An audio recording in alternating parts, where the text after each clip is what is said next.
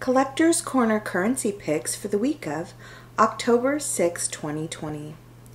As of today, there are 7,300 notes available for sale, valued at $13.5 million.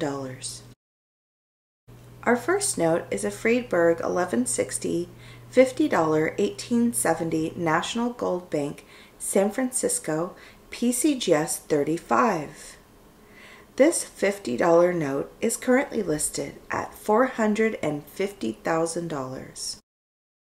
Our next note is a Friedberg 127 $20 1869 legal tender PMG 65 EPQ.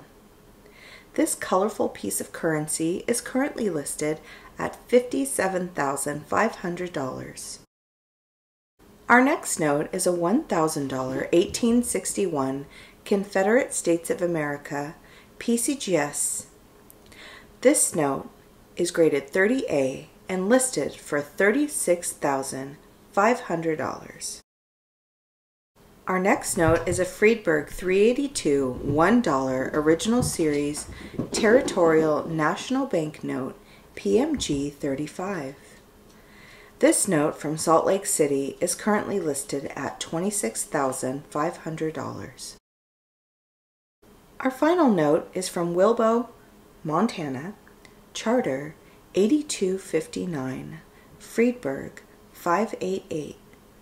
This national banknote graded PCGS 15 is currently listed for $20,000.